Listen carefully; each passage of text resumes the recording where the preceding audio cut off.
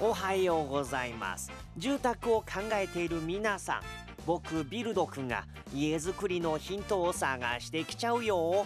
目指すは家博士。今回お邪魔したのはこちらの住宅。新井さんこの宅のポイントは？災害に対する強度を確保した地震に強い家族を守る家がテーマです。早速お宅を拝見。カフェ風にアレンジしたキッチンから続くリビングダイニング。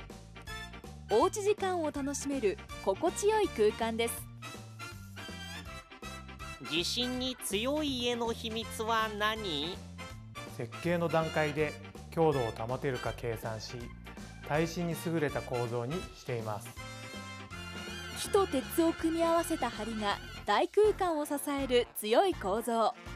さらに高層ビルでも使われるシステムを採用。地震の揺れを吸収し建物の揺れを抑えます。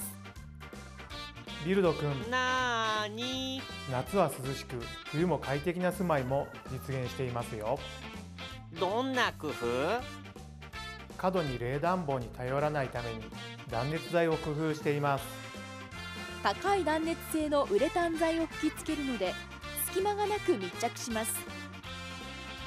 窓は樹脂サッシを使用して高い断熱性と気密性を実現。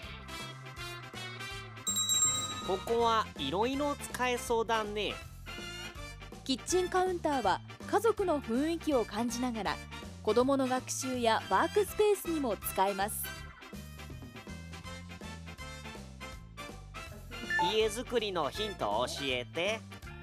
家づくりのこだわりに合わせて構造もオーダーメイドすることがポイントです。強い家がポイントだね。これからもまだまだ家づくりを勉強するよ。またね